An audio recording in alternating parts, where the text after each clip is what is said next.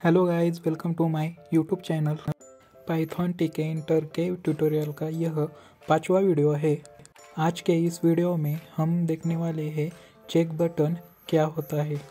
कल के वीडियो में हमने एंट्री बॉक्स और बटन के बारे में देखा था। अगर आपने देखा नहीं है तो आप मेरे चैनल पर जाके वह वीडियो देख सकते हैं। आज के वीडियो में हम देखेंगे चेक बटन के बारे में। चेक बटन में मल्टीपल ऑप्शन होते हैं और हम मल्टीपल ऑप्शन चूज़ भी कर सकते हैं। उसे हम चेक बटन कहते हैं। यानी कि मल्टीपल ऑप्शन में से मल्टीपल ऑप्शन चूज़ करना मतलब चेक बटन एग्ज़ाम्पल के लिए हम समझते हैं, अगर आपको आपकी हॉबीज़ चूज़ करनी है तो आप मल्टीपल हॉबीज़ चूज़ कर सकते हैं, क्योंकि एक इंसान की मल्टीपल हॉबीज़ हो सकती है। वह हम चेक बटन की सहायता से चूज़ कर सकते हैं। यहाँ पे आप चेक बटन क्या है, यह समझ ही गए होंगे। और एक एग्जांपल ले तो हम एक सब्जेक्ट का ले सकते हैं। अगर आपके फेवरेट सब्जेक्ट को आपको चूज़ करना है तो आप भी वह चेक बटन का इस्तेमाल कर सकते हैं। चलो, देखते हैं चेक बटन कैसे काम करता है एग्ज़ाम्पल के थ्रू उसके लिए हम सेवन नाम का एक वेरिएबल लेते हैं, और उसमें हम चेक बटन लिख देते हैं। उसके बाद चेक बटन के अंदर हम वही पैरामीटर पास करेंगे विंडो, उसके बाद हम टेस्ट पास करेंगे। टेस्ट में हम सब्जेक्ट लेंगे। सपोज़ यहाँ पे मैं सब्जेक्ट पाइथन लेता हूँ। सब्जेक्ट पाइथन लेने के बाद हम फाउंड लेंगे। सपोज़ रोबोटो सिक्सटीन बोल्ड यह फाउंड हम पहले चेक बॉक्स को दे देते हैं। उसके बाद हम क्या करेंगे? इस सी वन नाम के चेक बॉक्स को मतलब चेक बटन को हम प्लेस करेंगे। तो C one dot place place में हम दो पैरामीटर पास करते हैं एक्स और वाई या हम एक्स की वैल्यू सपोज़ सिक्सटी लेते हैं और वाई की वैल्यू हम तीन सौ लेंगे। अब आपके मन में एक डाउट आया होगा कि यहाँ पे हमने वैल्यू कैसे ली? एक्स की वैल्यू हम सिक्सटी लेंगे वाई की वैल्यू हम तीन सौ। तीन सौ वाई की वैल्यू क्यों ली? आप देख सकते हैं कि ऊपर हमें जो बटन लिया है, उसकी वैल्यू हमने 200 ली है। तो हम उससे ज़्यादा वाई की वैल्यू लेंगे, यानी कि 300 आप देख सकते हैं कंट्रोल एस दबा के सेव किया, और फिर रन करने के बाद हमारा आउटपुट कुछ इस तरह दिखाई देता है। उसके बाद हम और एक चेक बटन लेते हैं। मैं क्या करूँगा, ऊपर जो चेक बटन लिया है, उसे ही कॉपी करके नीचे में पेस्ट कर दूँगा। और यहाँ पे वेरिएबल भी मैं यहाँ पे चेंज कर दूँगा। सी टू वेरिएबल में यहाँ पे कर दूँगा। उसके बाद मैं क्या करूँगा? यहाँ पे वाई ज़रा बढ़ा दूँगा। बढ़ा के मैं इसे 400 कर देता हूँ। इसके बाद हम टेस्ट भी बदल देंगे। दूसरा सब्जेक्ट लेंगे। सपोज़ यहाँ पे हम जावा यह सब्जेक्ट लेते हैं और एक बार इसे रन करके देखते हैं। आप देख सकते हैं कि हमारे दो चेक बटन आ चुके हैं और यहाँ पे हम क्लिक भी कर सकते हैं। उसके बाद हम क्या कर देंगे? एक वेरिएबल लेंगे। मतलब आपको पता ही होगा वेरिएबल हम यहाँ पे क्यों लेंगे?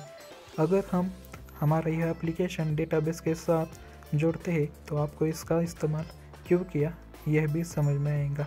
आगे भी हम देखेंगे इसका इस्तेमाल कैसे किया जाता है। तो हम एक वेरिएबल लेते हैं स्ट्रिंग वेर क्योंकि इससे पहले जो हमने विजय देखे थे, उसमें टेस्ट वेरिएबल यूज़ किया जाता है, लेकिन यहाँ पे स्ट्रिंग वेरिएबल यूज़ किया जाता है, क्योंकि पाइथन जावा यह एक स्ट्रिंग है, इसलिए हमने यहाँ पे स्ट्रिंग वेर लिख दिया। और अब हम क्या करेंगे, जो वेर और वेर वन नाम के दो स्ट्रिंग वेरिएबल हमने बनाए हैं, उसे हम चेक बटन में पास कर देंगे। तो चलो, इसे हम चेक बटन में पास करके देखते हैं। तो हम इसे पास कैसे करते हैं? पहले मैं इस फॉन्ट को ज़रा ठीक कर देता हूँ। उसके बाद हम देखेंगे कि वेरिएबल कैसे पास करते हैं। तो यहाँ पे हमें वेरिएबल पास करने के लिए यहाँ पे हमें एक प्रॉपर्टी चेक बटन प्रदान करता है। तो वो प्रॉपर्टी कौन सी है? वो तो वो प्रॉपर्टी है वेरिएबल हम उस वेरिएबल नाम के प्रॉपर्टी में जो हमने पहला वेर बनाया है, उसे हम पास कर देंगे। उसके बाद सेकंड चेक बटन में भी हम सेकंड वेरिएबल पास कर देंगे। तो चलो पास कर देते हैं। तो variable equal to var one लिख के हमने सेकंड चेक बटन में वेरिएबल पास कर दिया है उसके बाद हमें अब चेक बटन और एक प्रॉपर्टी प्रदान करता है। उसका नाम होता है डी सिलेक्ट और उसके साथ सिलेक्ट ये भी चेक बटन प्रॉपर्टी प्रदान करता है। तो देखते हैं इसका इस्तेमाल क्यों किया जाता है। इसे अच्छी तरह से समझने के लिए हम क्या करेंगे? पहले चेक बटन को डिसिलेक्ट कर देंगे और दूसरे चेक बटन को सिलेक्ट कर देंगे। इसके नाम से ही पता चल रहा है कि इसका इस्तेमाल क्यों किया जाता है। फिर भी हम इसे एक बार समझ ही लेते हैं। डिसिलेक्ट मतलब हम जैसे ही रन करेंगे वो हमारा चेक बटन डिसेलेक्ट रहेगा। और सिलेक्ट मतलब जैसे ही हम प्रोग्राम रन करेंगे तो हमारा जो चेक बटन है वो सिलेक्ट रहेगा। यहाँ पे हमने पाइथन को डिसेलेक्ट किया था और जावा को सिलेक्ट किया था। यहाँ पे बाय डिफ़ॉल्ट जावा क्या हो गया? सिलेक्ट हो गया। लेकिन अब इसे इस्तेमाल नहीं करते इस प्रॉपर्टी को तो वह check button by default deselect ही रहता है। अगर आपको कोई ऐसा बटन है जो सिलेक्टेड रखना है तो आप सिलेक्ट इस प्रॉपर्टी का इस्तेमाल कर सकते हैं। उसके बाद हम दो और प्रॉपर्टी देखेंगे ऑन वैल्यू और ऑफ़ वैल्यू ऑन वैल्यू और ऑफ़ वैल्यू का मतलब क्या होता है? यह समझते हैं। ऑन वैल्यू मतलब अगर आपने चेक बटन को टिक मार्क किया है, यानी कि सिलेक्ट किया है तो आपकी वैल्यू वन आएगी और ऑफ़ वैल्यू का मतलब ये होता है, अगर आपने चेक बटन को डिसलेक्ट किया है, यानी कि सिलेक्ट नहीं किया है तो आपकी वैल्यू ज़ीरो आएँगी।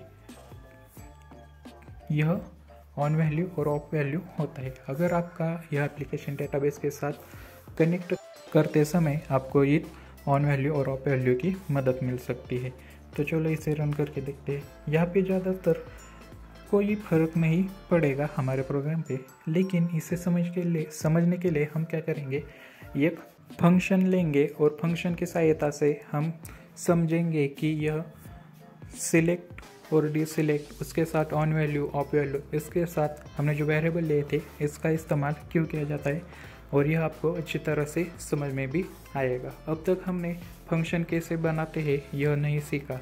लेकिन यहाँ हम फ़ंक्शन कैसे बनाते हैं, इस पर आप ध्यान मत दो। अभी के लिए जस्ट समझो। यहाँ पे फ़ंक्शन हम कैसे डिक्लेयर करते हैं? डेप नाम के वेरिएबल से डेक नाम के कीवर्ड से, और उसके बाद फ़ंक्शन का नेम यहाँ पे हमने चेक लिया है और उसके बाद पैरांथेसिस और उसके बाद कोलन सपोज़ मैं यहाँ पे एक ए वेरिएबल लेता हूँ और उसमें मैं क्या करूँगा? जो हमारी वैर है वैर हमने पहले चेक बटन को वेरिएबल पास किया था तो इस वैर के नाम से हम पहले चेक बटन की वैल्यू गेट करेंगे और वैर वन के के सहायता से हम दूसरे चेक बटन की वैल्यू गेट करेंगे, यानी कि पाएँगे। उसके बाद हम क्या करेंगे? जो हमने वैल्यू गेट किए वो ए और बी में स्टोर हो जाएँगी और फिर हम उसे प्रिंट कर देंगे। अगर ये प्रिंट हमें मैसेज कहाँ दिखाई देगा? हमारे हमारे टर्मिनल में। लेकिन यह चेक बटन कब कॉल होगा? जब हम बटन पर क्लिक करेंगे। लेकिन हमने बटन लिया ही नहीं। हम क्या करेंगे? ऊपर का बटन कॉपी करके नीचे पेस्ट कर देंगे। और उसके बाद हमने पिछले वीडियो में देखा ही था बटन में और एक प्रॉपर्टी होती है वो कमांड नाम की। और कमांड में हम क्या करते हैं, जो हमारे फ़ंक्शन का नाम है, उसे पास करते हैं। चलो, हमने इसे पास भी कर दिया, इसे रन करके देखते हैं। आप देख सकते हैं, हमारे प्रोग्राम रन हो गया। अगर हम यहाँ पे सपोज़ पाइथन पर क्लिक करते हैं सिलेक्ट करते हैं, और जावा को डिसलेक्ट ही रखते हैं तो और हम फिर सबमिट में अगर क्लिक करेंगे तो हमारा आउटपुट कुछ इस तरह दिखाई देगा। हमने पहला चेक बॉक्स यानी कि पाइथन को सिलेक्ट किया है, इसके लिए हमें आउटपुट वन आया और सेकंड डी सिलेक्ट है, इसलिए हमारा आउटपुट ज़ीरो आया। और अगर हम दोनों भी सिलेक्ट करते हैं तो हमारा आउटपुट वन वन आएगा, जैसा कि आप स्क्रीन पर देख रहे अगर हम पाइथन को डी सिलेक्ट करें और जाओ को सिलेक्ट तो हमारा आउटपुट ज़ीरो वन आएगा। अगर दोनों को भी हम डी सिलेक्ट रखें तो हमारा आउटपुट ज़ीरो ज़ीरो आ जाएगा। यह उपयोग होता है ऑन वैल्यू और ऑफ़ वैल्यू का। यूज़र ने कौन सा ऑप्शन सेलेक्ट किया है, हम इससे सहायता से समझ सकते हैं। आशा करता हूँ कि आपको चेक बटन क्या है, वह समझ में आ गया होगा। तो चलो नेक्स्ट वीडियो में मिलते हैं। तब तक के लिए बाय बाय